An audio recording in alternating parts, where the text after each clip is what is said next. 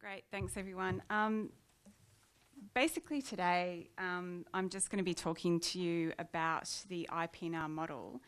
And I'm bearing in mind that a lot of you will actually be quite familiar with this model. So I won't probably pay a lot of attention to that, but I think that the most meaningful thing that you can get out of today's session is to think about from an ageing population planning strategy point of view, how you can use the model to your best advantage, because I think that's probably what you're all here for. Um, and also to think about if you are applying for grants in the future, how you can actually use the integrated planning model to give you a bit of leverage, hopefully. Um, I really like this quote. Um, thank you, LGSA. um, an ageing population is everyone's business. And it's interesting because, you know, here I am, I've, i am now working for the DLG, I've come from a community services background, but I'm loving the fact that we're all having the same conversation, which is brilliant, which is actually about you don't necessarily engage the people who are already at that point in their life where the ageing population issues is critical. You actually need to start to talk start to talk to people um, at, at various life stages to make sure that they're going to be healthy and independent for as long as possible. And it's also a conversation internally with your colleagues. And I really want to stress this because, again, I come from a, a corporate services background where I've tried to then have to go out and help engage other people in the organisation around community strategic planning issues. And it's not that easy. Um, community development are brilliant. One of them is actually here today, so I have to say that. But you have people that have a particular interest in the subject, and they're going to be so much more easily engaged in the process. And and and Peter and and people have touched on this previously, but just keep this in mind as we go through the presentation. I want you to ask your council a couple of questions. Um, how are they actually planning for an age friendly community? Is that actually a conversation they have at the community strategic planning level, or is it a separate conversation? Who manages that conversation? Is it a holistic approach to planning, or is it actually again about the community development workers driving that process? Because that's great, but everyone has to be part of that conversation. Do you actually really know what the community wants? And really importantly, are all of the programs that you want to run reflected in your corporate planning documents? And this is actually going to be quite vital, and I'll talk to you in a moment about why that is, particularly in terms of getting money. Um, how do we resource our activities? Again, um, all of the, the councils in New South Wales are actually required to produce a resourcing strategy. And when we talk about a resourcing strategy, we're actually talking about the right people, the assets, and the money in place to actually get the job done. And if it's not a sustainable program, look at the options that are available to you. If you, if you adopt this approach, and, and be proactive, you're actually minimising a lot of risk in terms of your project delivery. So this is the model, and a lot of you will have seen it before. You will have seen it a billion times. I hate to bore you with it, um, but how how it works for those of you who aren't familiar with it is that you have a community strategic plan. Now that plan is it's a minimum of 10 years. It's basically the big picture stuff. It's all about community outcomes, where they see themselves in 10 years, how they want to get there, what their priorities are. You'll then have a, a four year delivery program. Now, that is actually a corporate document, as is the operational plan. It basically says over the next four years or the term of council, what do we want to do? What activities we actually put in place to achieve some of the outcomes that are articulated at the community strategic plan level the operational plan, a lot of you will actually find that your work plans will link quite closely to your operational plan in an ideal situation. And quite importantly, um, at the end of the day, a lot of this is driven through community consultation. I want to point you to the DLG website. If you haven't had a look at this, please do, because what it's actually doing is it's giving you an option to look at integrated planning in the in the context of aging populations. So if you go to the website, you have a drop down list there, you go to integrated planning, and there is actually quite a, a dedicated site about aging populations. And it will actually take you through a process which I won't go through now because that will take up too much time, and I think I have 15 minutes. So but if you have a look at it, it's quite um, intuitive. It's a five step process. It's actually about thinking about all of the programs that you are responsible for and how they integrate across the rest of the organisation. I encourage you to take a look because it might actually be a practical tool that you can apply. And it's a really good time to have this conversation because a lot of you will actually be going through a process right now where you're reviewing your community strategic plans. Now, again, coming from a council background, I know that it varies from council to council. So you might actually have uh, community services people that, that drive this process. Uh, where I came from, it was the strategic land use planners that, that drove this process. Um, other people might have corporate services. Um, and some of the smaller councils, because I'm actually um, involved in the review. If anyone here is like a Group Three council, and you'll understand that if you if you are one, um, I'm actually part of the review of those Group Three councils. And one of the things that's been actually quite great is that because a lot of them have not as many resources available, they're not flying in the big consultants to write their plans. Um, they've actually got like a like a unit that is cross divisional, and they're having this conversation across all of council. And you guys actually flagged this before about having the conversation across all of council, not just about community services, because it's really really vital.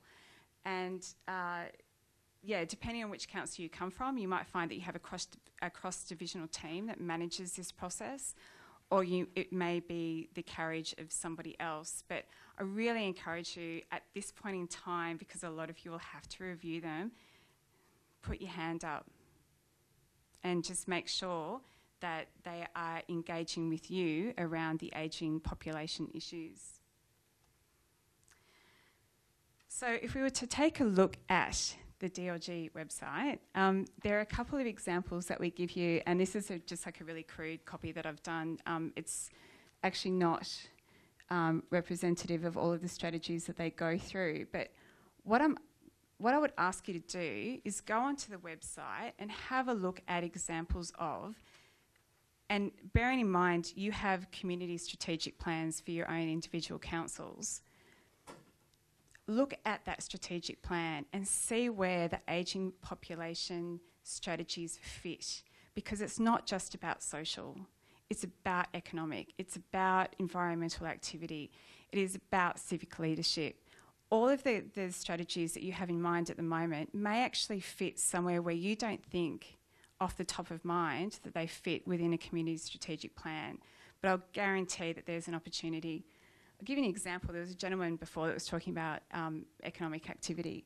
If you if you think that perhaps perhaps you actually have, and this is quite a broad comment, but and generally speaking, a community strategic plan is so high level that a lot of their it's very conceptual. It's like a high level, broader comment.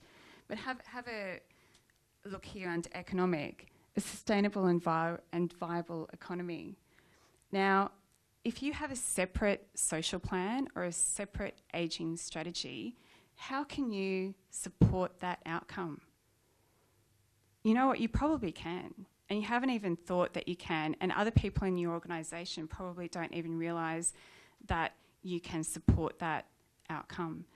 And again, I, I just encourage you to take a look at the website because that will give you a better indication of how it works but it is all about taking all of your ageing population um, strategies, for example, or your social plan strategies, and feeding it into the organisation. Make sure the organisation sees that you have strategies that will benefit the rest of the organisation. Just going back to uh, community engagement for one moment, and this has been touched on previously, and some fantastic examples, particularly from Pittwater and the likes. But I wanted to say to you that one of the things that I have found quite interesting looking at a lot of the Group 3 councils that we've been reviewing is that they are doing amazing stuff around community engagement. It's not about the resources that are, are uh, actually available to you.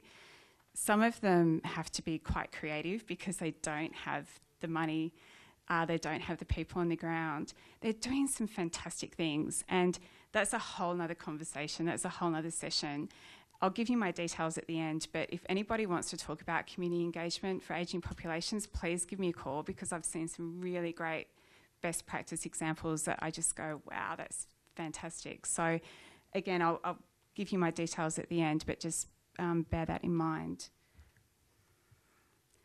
One of the things that's really important, and again, this has been flagged, but it's not just about having a conversation with the community, it's actually about having a conversation with the engineers, with the IT staff, with the strategic planners. If you miss that conversation, you have no value.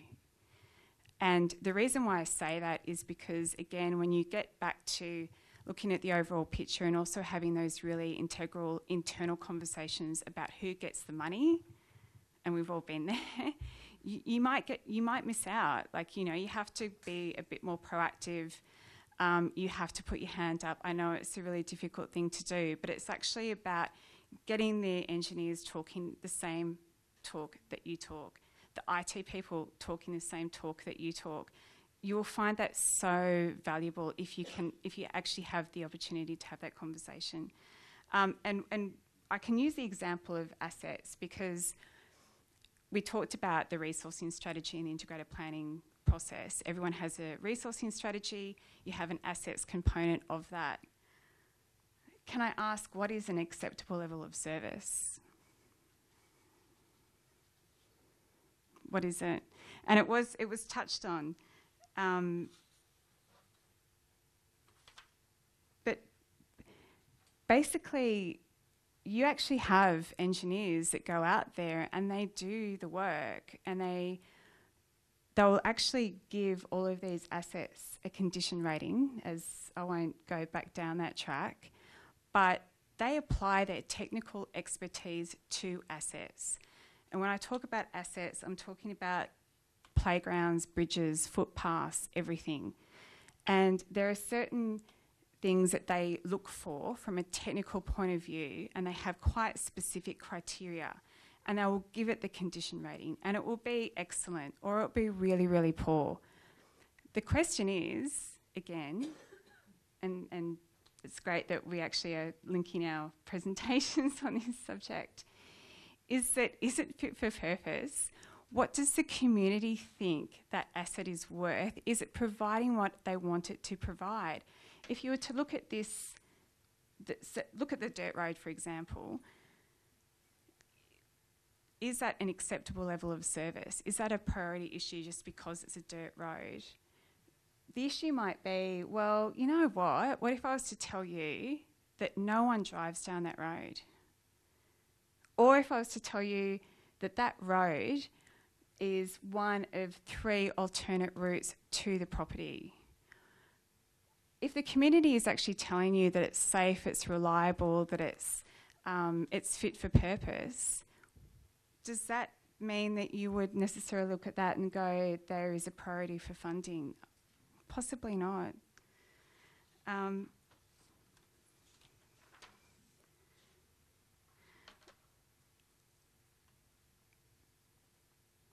go back and go back to the grants because that's actually what you really want to talk about, really. Um, but I, I suppose what I was coming down to in that last slide was that really, and Catherine did talk about this quite a bit, is that the levels of service aren't determined necessarily by your engineers. Okay, they're actually, the levels of service are actually um, determined through community consultation, and it's so key that you have that communication. And a lot of the things that they will consider during that will be things like quality, quantity, safety, capacity, reliability, fitness for purpose, as I've already said. Um, ask yourselves internally the people that actually go out to the community and talk about your assets, the people that rate your assets um, potentially, the people that take the conversation out to the community, do they have a conversation with them about ageing populations and do they give it a context? It's just like, you know, throw it out there. What are the things that are considered when they actually go out there? Or are you, as community development workers, actually part of that conversation? And would you like to be, perhaps? Good planning, and again, this was flagged previously, doesn't necessarily support just people who are aged um, or aging or have to consider those implications. It may actually be that if you are considering those implications now, you're actually catering to a much broader community. For example, the children, the mums with prams, the, the people who have a disability. Have those conversations early in the process and as early as you can because it would actually add a lot of value. So, um, yeah, getting to the grants. Um, Michael and, and, James are actually going to talk to you about the grants um, that are available, um, the age friendly community grants specifically, a bit later. But one of the things that I would like to draw your attention to is that you will actually have two um, potential categories, I guess, that you might be able to fall into, and, and James will correct me if I'm wrong. But it doesn't matter where you're at in the integrated planning and reporting cycle. The issue is you should have an opportunity to apply for a grant. It may be that you don't actually know what the project is that you need to deliver, but you need to know, but you know that you have to go and have a conversation with the community to, to, act, to actually identify that project. So you have two options and, and, and don't feel that you're cut out of that process depending on where you're at in the planning cycle. And that was probably the one thing that I actually just wanted to emphasise, and, and Michael and James will actually go through that with you a bit later. Um, that's basically repeating what I just said, but it's um, again, it's just basically if you completed planning for population ageing, um, it may focus on implementation. Um, and if the council has not previously undertaken age-related planning or the council has come to the end of its current planning cycle, it may undertake planning and implementation. If the council has not previously undertaken planning for population ageing or the council has come to the end of its current planning cycle, part of the project can be to undertake these activities. And this may involve developing a separate ageing strategy or incorporate, incorporating ageing objectives into the community strategic plan or relevant regional plan. One of the reasons why I want to highlight that too is because just bearing in mind, I don't know if if any of you are involved in conversations with IPART when it comes to special rate variations, but you will find more and more that they will ask you to refer back to your integrated planning and reporting documents. And the guidelines I think are going to be released shortly, but basically what we're getting down to is that more and more if you are looking for grants, um, if you're looking for special rate variations, they will actually look at your integrated planning model and they will look at the robustness of the, of the, the documents you actually got in hand. So I won't, um, I think I've actually run out of time. So, but that, those were the questions that I asked initially.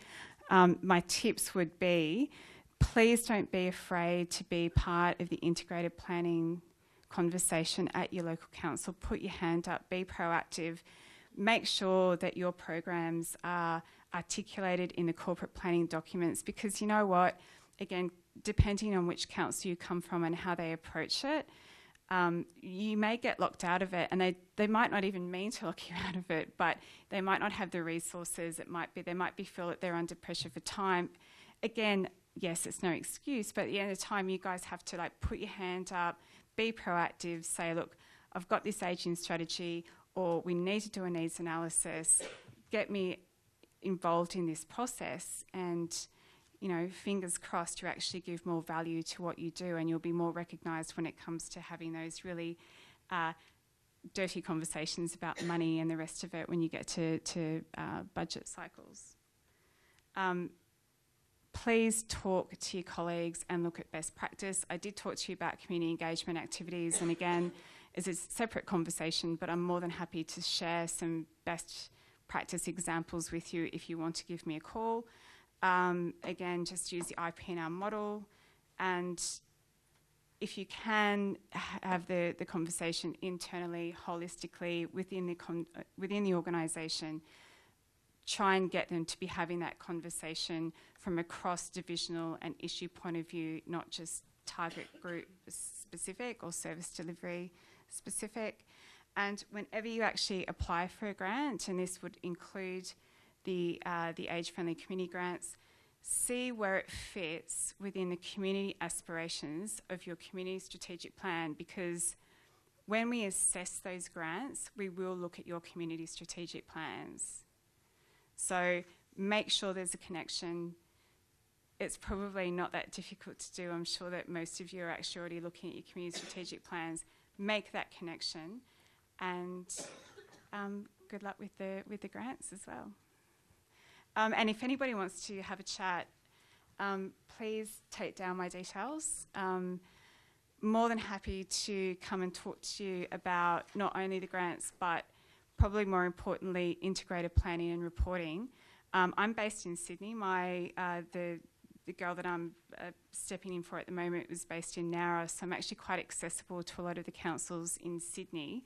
Having said that, I'm more than happy to travel out and have a conversation with some of the regional areas if you need presentations done with any of your councillors, for example, just to have a little bit of chat about integrated planning, more than happy to help out. Thank you.